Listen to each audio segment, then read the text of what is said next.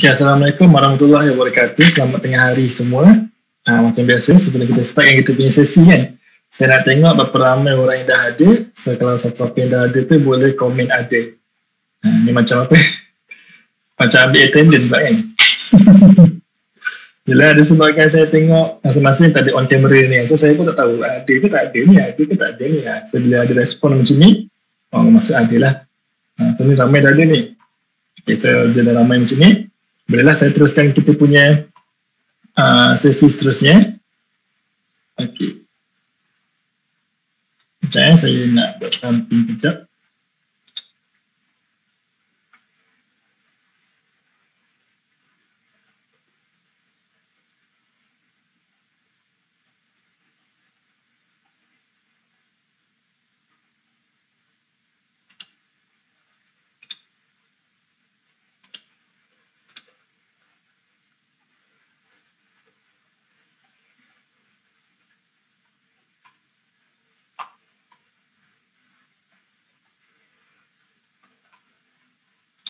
Okey.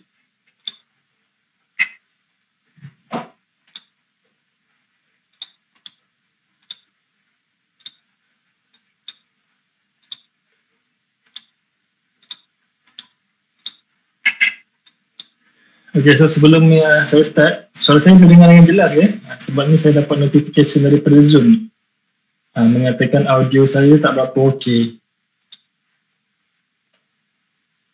Boleh eh? Ha, so kalau boleh, okey lah. Saya akan teruskan lah. Okey, so kita akan teruskan dengan uh,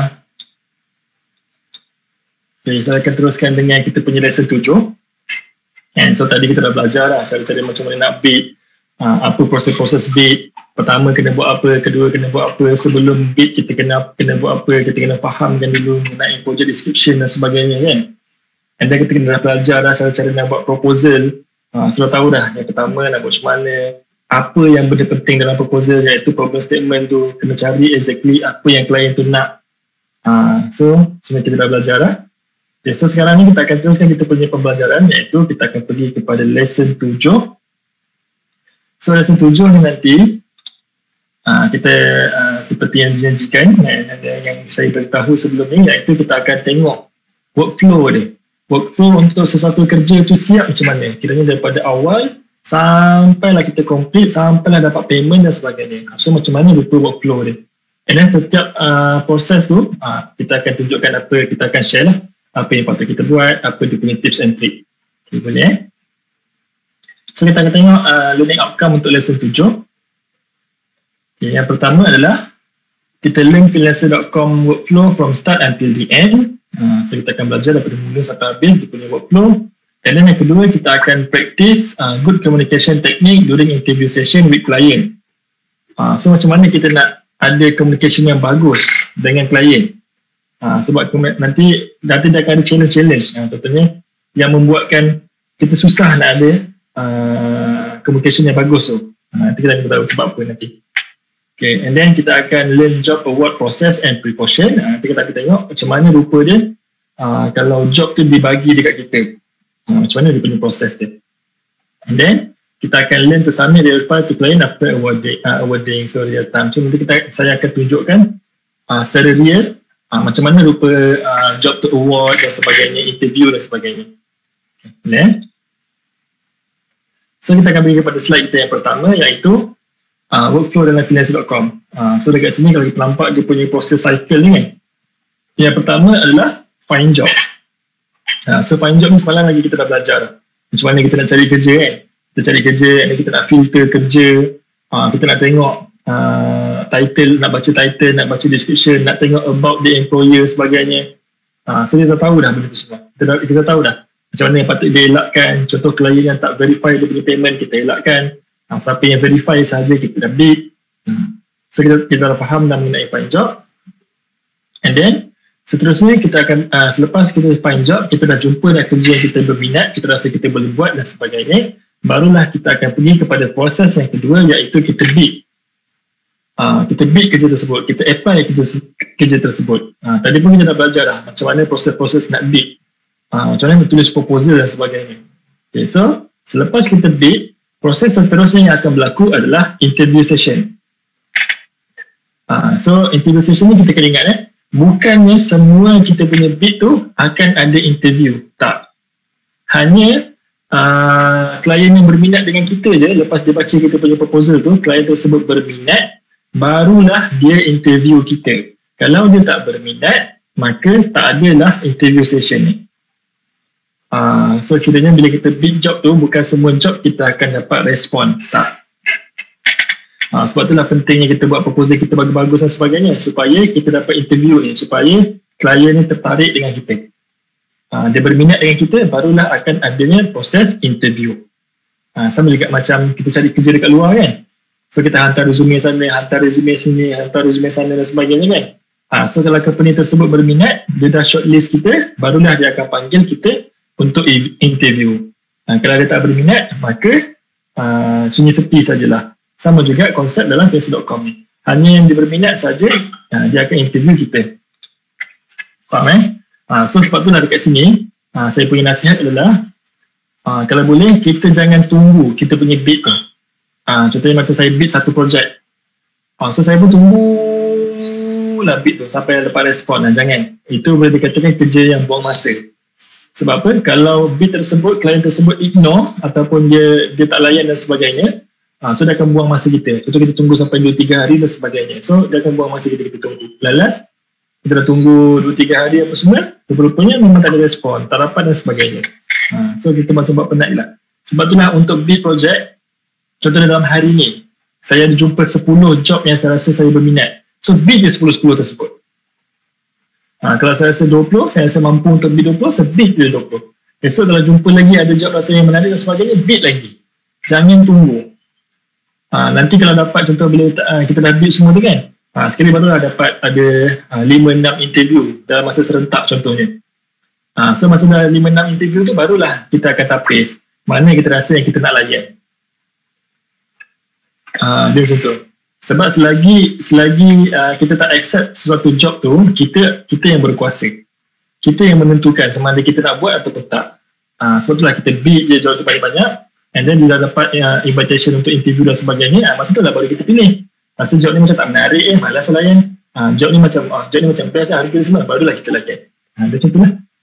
Faham tak? Uh, kita jangan tunggu jangan buang masa untuk tunggu dia klien respon dan sebagainya Ha, so kita bid je. Kalau kita jumpa job baru yang best-best, kita bid je.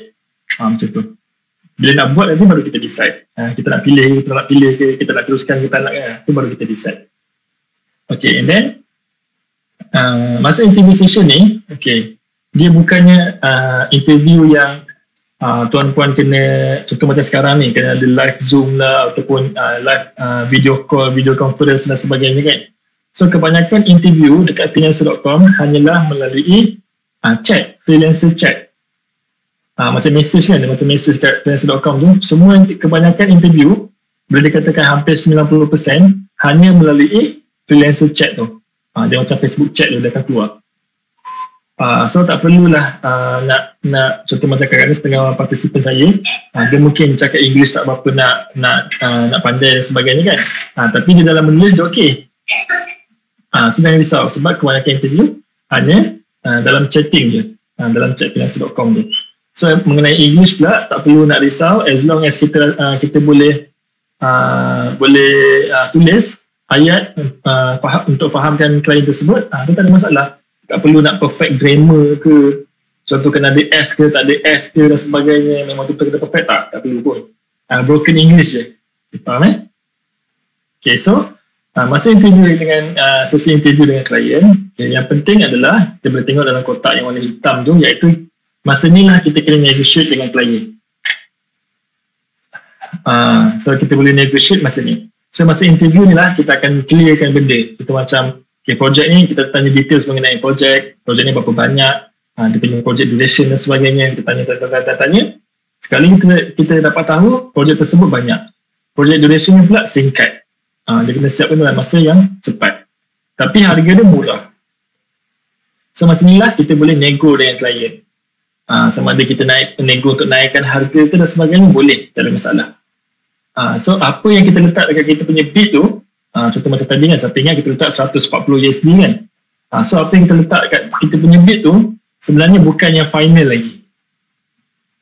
Uh, so bukannya itu adalah bukan yang final bukan.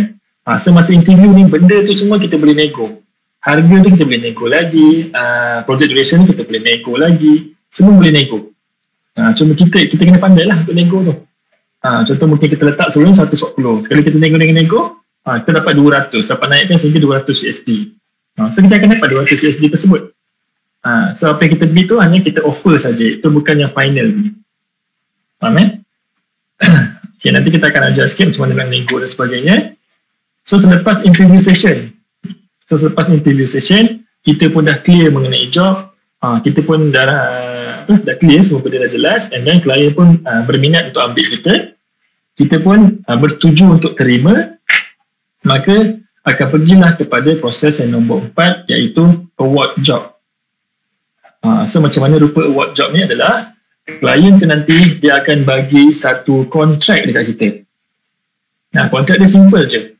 Ha, dia ada button untuk accept dekat kontrak tu. So bila dia bagi kontrak tu, kita accept, maka kita terimalah kerja tersebut. Tapi kalau dia bagi kontrak tersebut, kita tak accept, bermaksud kita tak terimalah kerja tersebut. Faham eh?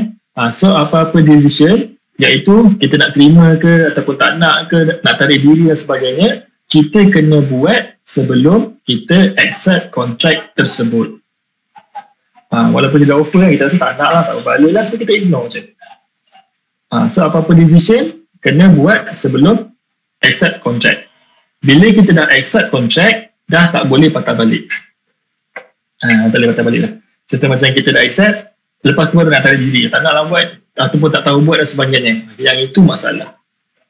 Faham eh? Uh, so, kalau boleh semua decision dibuat sebelum kita award job ni, proses depan ni, award job ataupun kita accept kontrak tersebut. Okay, so selepas proses award job, iaitu yang bagi kontrak tadi tu, kita pun accept, kita pun bersetuju untuk buat. Uh, make sure kita kena kena ada kontrak tu dan make sure kita accept eh. Uh, kalau kita setuju nak buat, tapi kontrak tak ada pun tak guna juga. Uh, make sure kontrak tu kena ada.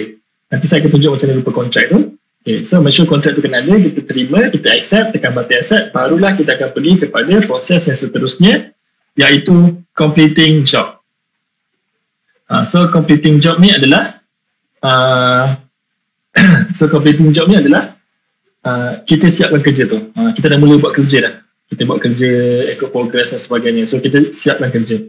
Uh, kalau kita fit spice punya project, kita kena follow milestone lah kalau ada milestone. Uh, kalau hourly memang tak ada master lah. So kita buat je lah.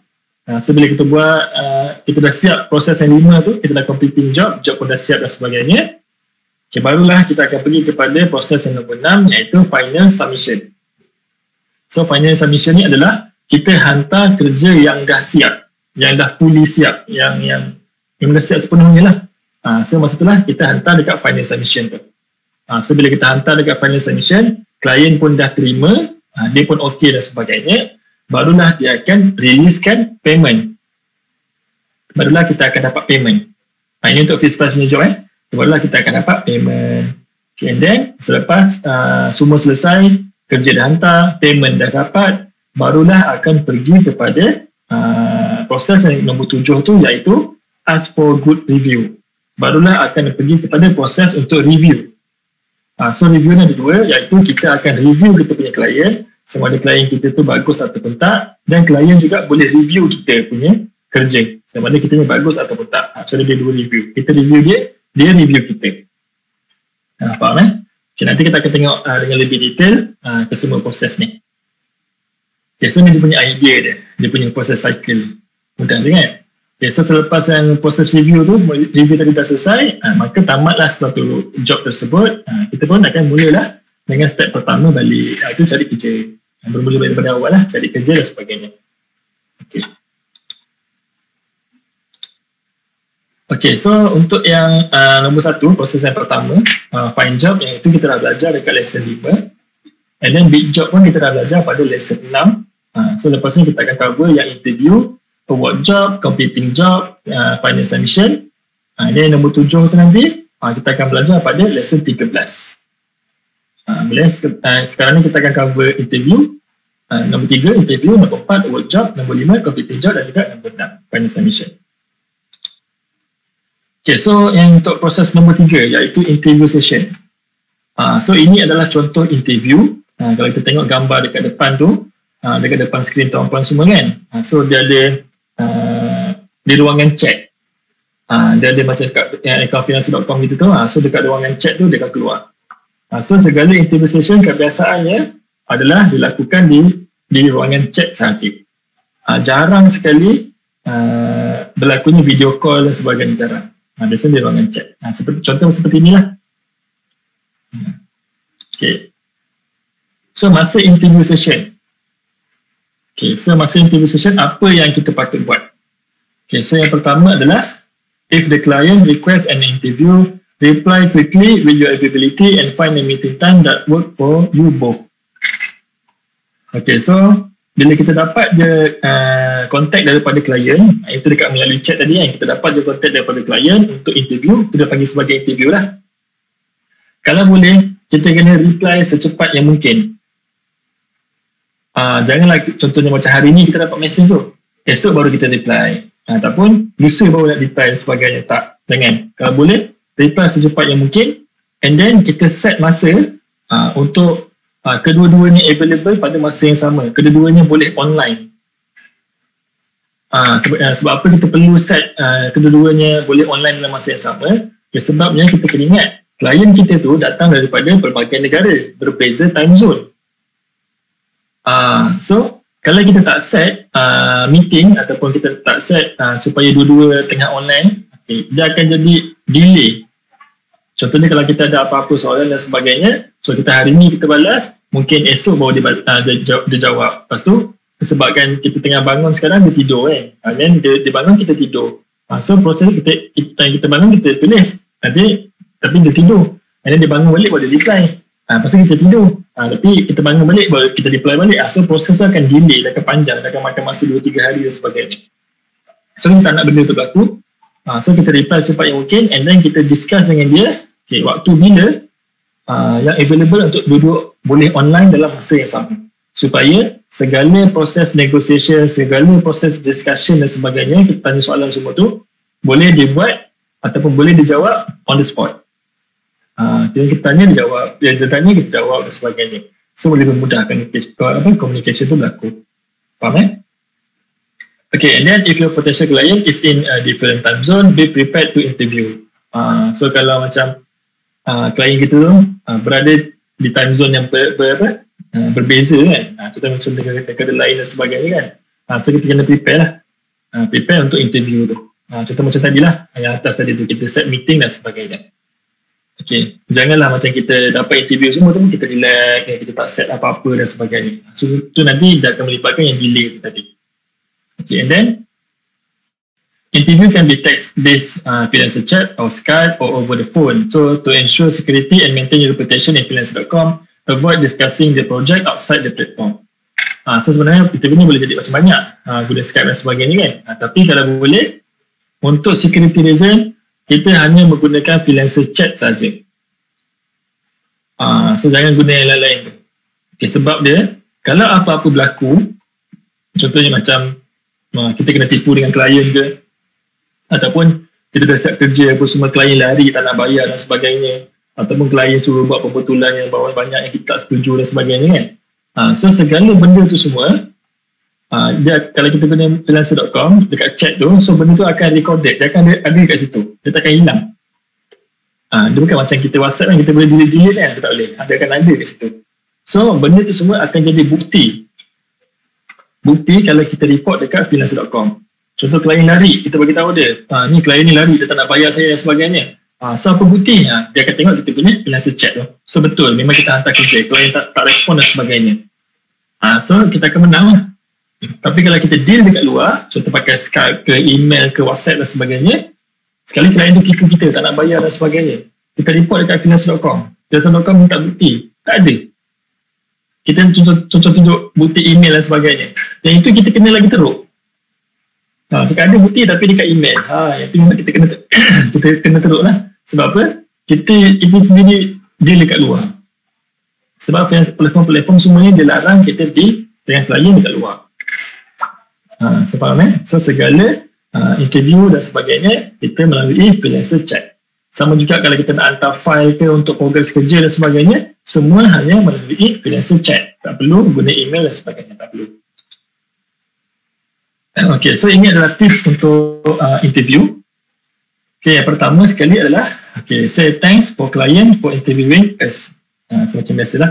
Kalau kita uh, dapat interview daripada siapa-siapa, uh, daripada kena contact dekat freelancer.com lah pertama, kita kena mulakan dengan cakap terima kasih lah uh, sebab dia sudi untuk interview kita. Uh, ini penting, ini soft skill eh. Supaya kita uh, nak nak nak nak bina relationship yang bagus tu, good relationship dengan klien tu. Ha, kita kena contoh. so, cakap terima kasih. Okay, and then uh, benda yang perlu kita jelas adalah ataupun kita perlu tanya, okay, I'll ask for the detail of the, the job, uh, uh, ask for the detail of the job description. Uh, so, kalau macam job description tu banyak benda dia tak bagi tahu dan sebagainya kan. Uh, so, masa tu lah kita tanya dengan lebih lanjut. Make sure kita kena tanya. Uh, jangan assume klien tu akan bagi tahu. Ha, sebagai contoh, ha, dekat dia punya job description bagi tahu dia, dia nak logo apa semua. Okay, saya nak logo ni ni ni ni ni. Ha, logo. So yang boleh buat, saya, kita pun tak tanya logo apa, logo jenis macam mana, 3D ke 2D, kita tak tanya benda tu. Asal kita tengok logo je, boleh boleh buat. Ha, kita pun cakap boleh buat. Sekali rupanya bila, bila kita dah accept job tu, job tu sebut dia bagi, alamak logo 3D pula. Logo 3D saya tak pandai ni. Ha. Baru masa tu kita cakap tak, tak pandai. Ha, tapi job dah umur ni, ha, yang itu masalah. So segala detail atau segala uh, persoalan dan sebagainya kita kena clear masa interview. Okay and then uh, nombor tiga please negotiate with client. Okay so ini uh, kalau contohnya macam kita dah tahu dah details mengenai projek tersebut. Uh, contohnya kita dah tahu dah berapa banyak kerja kena buat. And then kita dah tahu dah dia punya project duration dia berapa lama. Contohnya kerja banyak, project duration ni sekejap. Uh, so masa ni lah kita please negotiate with client. Masa ni lah kita boleh negotiate. Ha, boleh tak naikkan harga ke? Sebab kerja ni banyak lepas tu nak kena siap cepat kan? Ha, so boleh tak ha, harga tu kita naikkan sikit ke? Ha, ataupun lepas kita dah tahu mengenai job description rupa, rupanya kerja tersebut susah. Uh, kita ingatkan macam senang sekali pun kita tanya alamak ini kena kerja kena kerja kena kerja teruk ni sebab kerja ni uh, sebab kerja ni susah rupanya uh, so masa tu lah mungkin kita boleh nego lagi dengan harga. Ha, ataupun kita nego lagi panjangkan lagi masa ke projek ni kan. Contoh macam dia asalnya dia bagi tiga hari so mungkin kita boleh minta seminggu. Ha, benda tu semua kita nego. Ha, masa interview session. Tolong nego jangan kita dia kita pun terima je redor je jangan. Ha, kita nego. Selagi boleh nego kita nego. Okay. And then nombor empat adalah uh, always ask for any sample of past project example ha, so masa kita tengah interview tu sebelum kita uh, macam nak clearkan benda dengan lebih dengan lebih terang kan so make sure kita minta sampel. Uh, mungkin kadang dia cakap-cakap-cakap sekali bila kita minta sampel eh ini lain je tak macam you cakap pun. Uh, contoh macam tu kan. Sebab kadang klien tu pun tak tahu macam uh, macam mana dia nak sebenarnya kan. Dia cakap lain dia punya bagi contoh lain.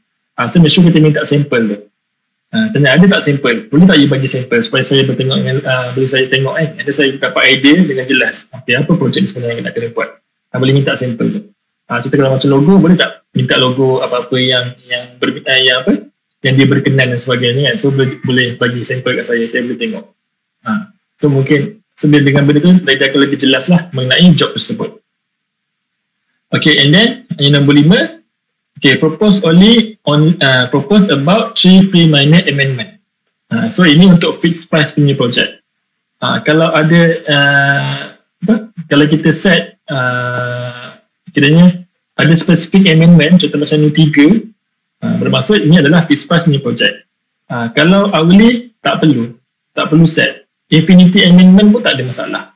Kalau hourly kan sebab hourly selagi kita buat kerja kita akan dibayar. Tapi kalau untuk fixed price ha, walaupun kita buat amendment banyak kali sekalipun tambah kerja, tambah masa dan sebagainya harga yang dibayar kat kita adalah fix harga tersebut tak bertambah.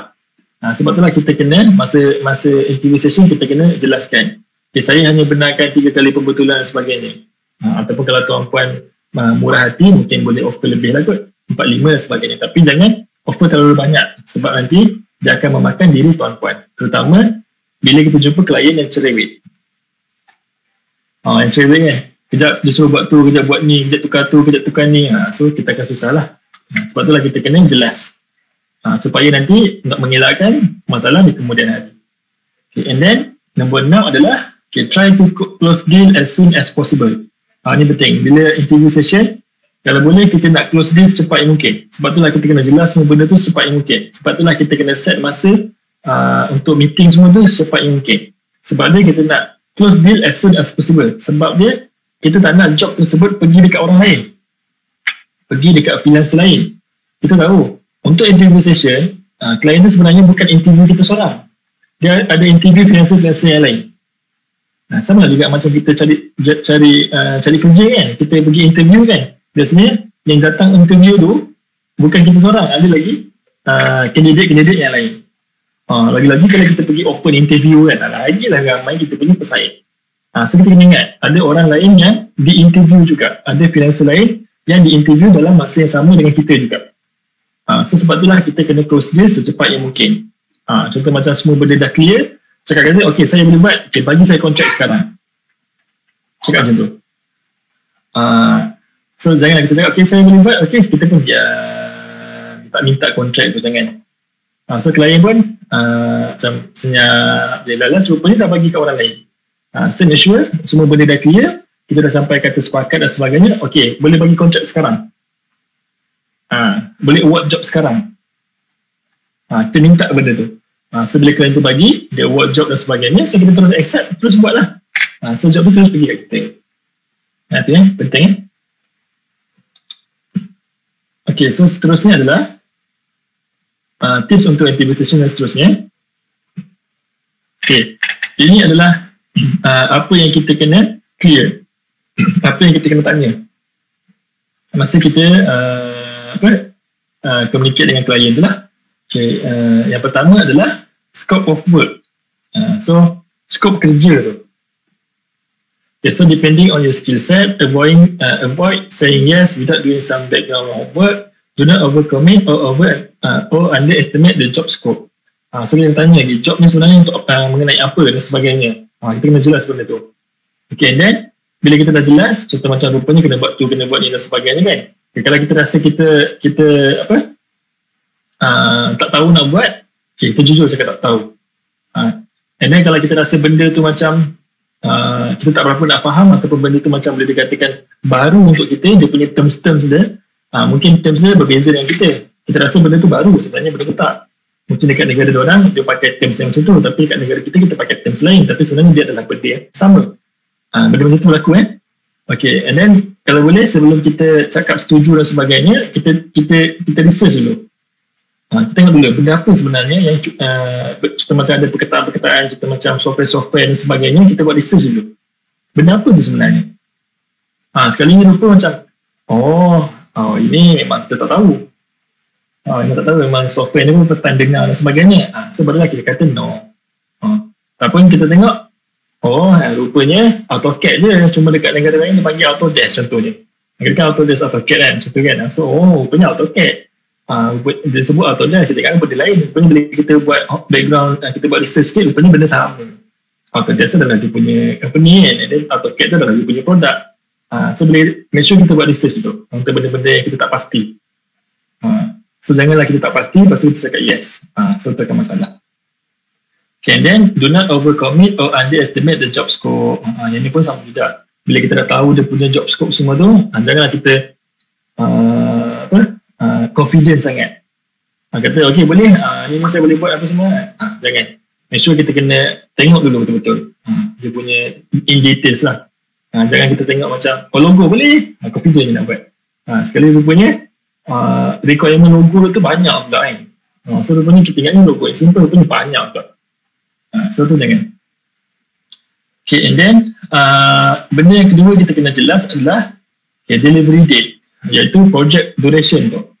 Project tu berapa lama nak kena siapkan. Ini kita kena tanya. Kita jangan harap klien tu bagi tahu. Ha, kadang-kadang klien tak bagi tahu. Ha, so kita kena tanya. Ha, so need to be realistic, do not overwork yourself and consider the process of further improvement and amendment. Ha, so bila kita dapat tahu dia punya project duration dia tu, ha, contohnya dia kata, okay, uh, project ni kena siapkan dalam masa 3 hari. Okay, make sure 3 hari ni okay, kita kena masukkan sekali dengan pembetulan dan sebagainya. Uh, bukannya tiga hari ni kita buat, uh, kira kita buat, uh, dah siap, baru kita first nak hantar tiga hari ni untuk cek pembetulan semua. Bukan. Uh, contohnya bermaksud kita kena siap lebih awal lah. Mungkin kalau dia bagi masa tiga hari, kita kena siapkan kita tersebut dalam masa dua hari. Sebabnya hari yang seterusnya untuk uh, kita cek sama ada pembetulan ataupun tak.